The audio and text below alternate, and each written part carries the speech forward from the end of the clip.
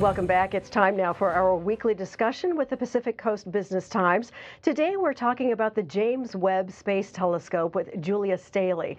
Julia, good afternoon. Thanks so much for talking with us. We appreciate it.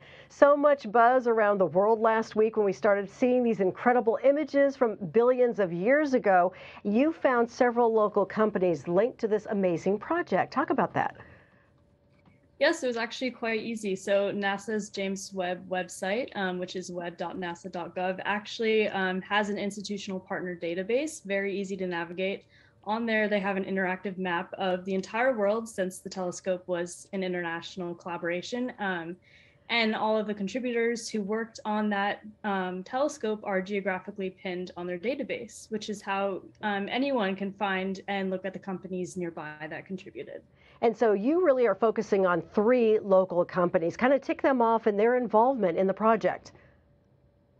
Yes, so Thousand Oaks based Teledyne Technologies um, contributed the infrared image detectors that are on the Webb telescope.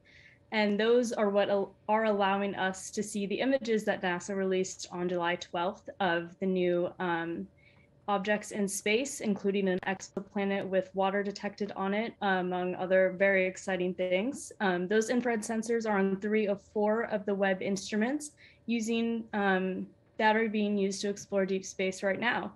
And then Ensign Bickford Aerospace and Defense is a company based in Connecticut, but their Moorpark Engineering and Operations facility um, made and sent 178 parts, which were shipped to the telescope when it was being held in Northrop Grumman's facility down in Redondo Beach.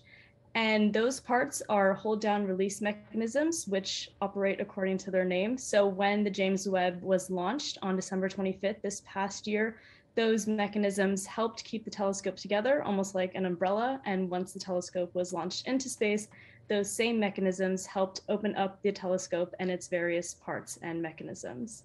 And then Next Intent is another company. It was, um, or it was started in 1996 and is based in San Luis Obispo. It manufactured 150 testbed actuator assemblies as well as 150 corresponding mounters.